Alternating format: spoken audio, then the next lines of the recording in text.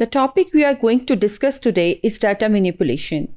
This is very important to note that data manipulation could be discussed in two connotation. It could be discussed in positive connotation and as well as it could be talked about in a negative co- connotation. Today we are going to talk about data manipulation in a negative connotation.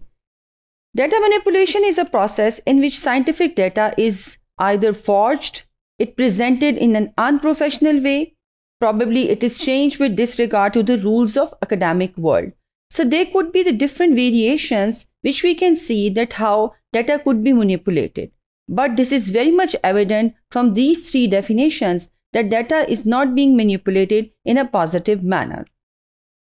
Why researchers manipulate data? This is a question of a high interest that why there is need, even a certain need, to manipulate the data. When we talk about students of psychology, we can understand that when they are doing uh, any project which is for a brief term, they may be in a hurry to achieve data into a certain manner. Probably because of being uh, less professional, probably being, uh, uh you know, finding lack of time in their uh, studies, they tend to go for data manipulation. Ideally mind में ये होता है कि एक hypothesis जो उनके जहन में है उसके रिजल्ट्स जो हैं वो अचीव करने के लिए डाटा के ट्रेंड्स जो हैं वो लाइकली देखे जाए। But when we talk about professional psychologist professional researchers and mental health professional this is a very important debate to see that why researchers manipulate data to avoid further experiment to solve data insecurities and inaccuracies to make the data process very easy they generally do this kind of manipulation जिस वक्त uh, एक ख़ास किस्म के trends research में आ रहे होते हैं जो कि ये बता रहे होते हैं कि ये रिजल्ट्स जो हैं इनका जो फाइनल कंक्लूजन है वो हमारे एम्स और हमारे ऑब्जेक्टिव्स को उस तरीके से नरेट नहीं करेगा जैसा कि इनिशियली एक रिसर्चर ने उसके ऊपर होमवर्क या प्लानिंग की होती है तो वहाँ पर जनरली एक अनएथिकल प्रैक्टिस के तौर पर प्रोफेशनल्स भी डेटा को मैनिपुलेट करते हैं। Researchers may forge the data, change some parameters without any experiment and further validation and present it in an unprofessional way.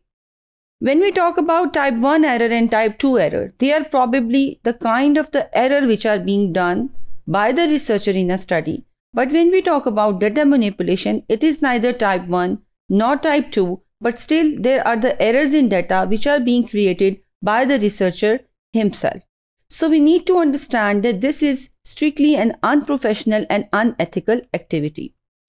Data manipulation may result in distorted perception of a subject which may lead to false theories of course because जब हम एक result को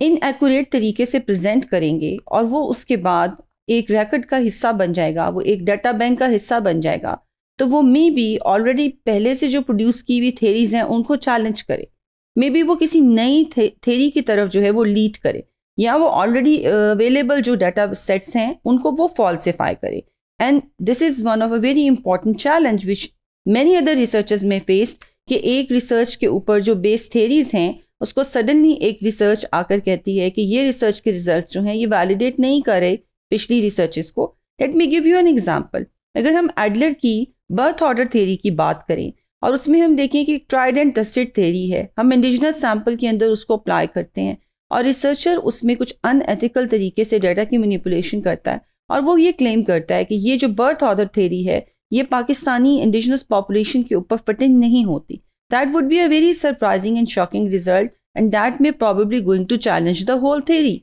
so this need to be done in to a very careful manner कि कोई भी data की जो manipulation है, उसका इम्पैक्ट सिर्फ़ उस एक रिसर्च तक नहीं रहेगा। बल्कि वो आइंदा आने वाली रिसर्च को भी बहुत बुरी तरह से इम्पैक्ट करेगा।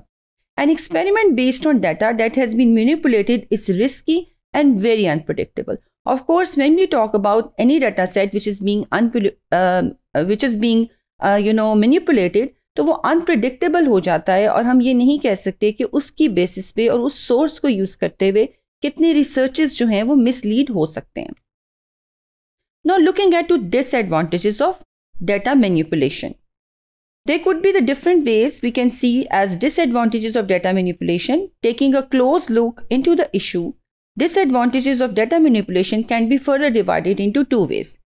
The first one is the disadvantages for author and researcher, and the second one is disadvantages for the whole community. Now, looking at to the disadvantages of author and researcher,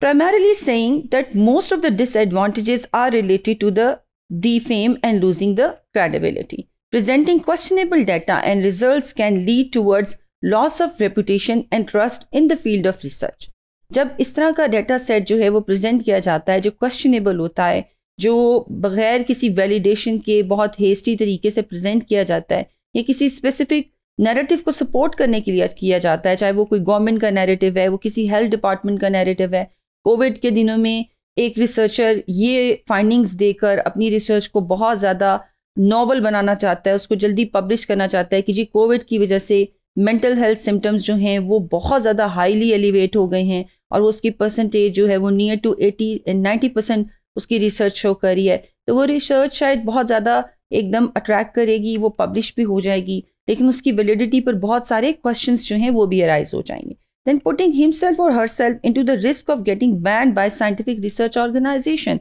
If one is being caught by doing data manipulation repeatedly, तो उसकी जो एक आ, उसका एक honour है उसकी जो एक रिस्पेक्ट है वो साइंटिफिक ऑर्गेनाइजेशंस में क्वेश्चन हो जाती है और उसको दोबारा जो है वो अपनी रिप्यूट को रीगेन करना मुश्किल हो जाता है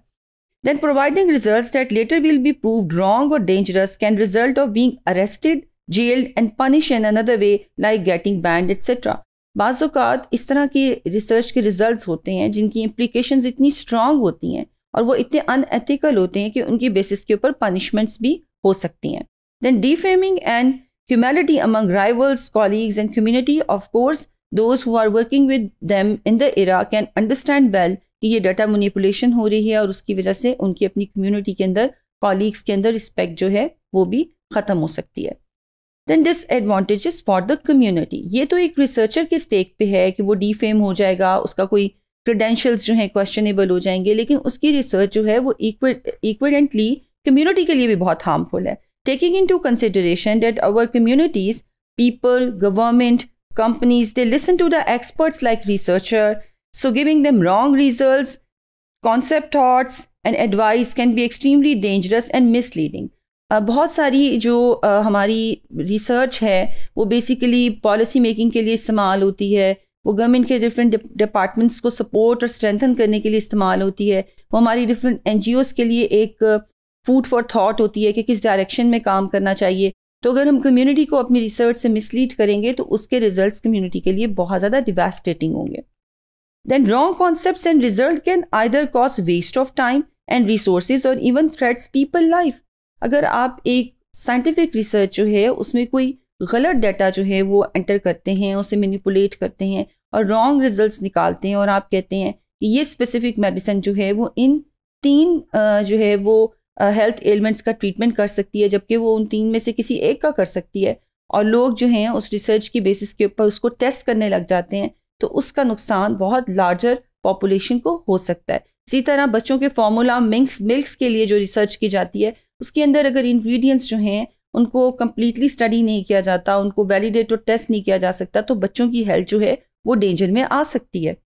Data manipulation can prevent the growth of a community country and result based on the false data can lead towards failure in real life practice course, if the data would be false और उसके result जो हैं वो हमारी community को impact कर रहे होंगे तो ये ओवरऑल एक पूरे नेशन के लिए डिजास्टर की सिचुएशन जो है वो क्रिएट हो सकती है। So by saying this, we need to understand that data manipulation is not a single task and it's not something which is related to one's own personal research, but it has larger consequences which can even threaten the community and it can threaten the nations and many other people's life as well.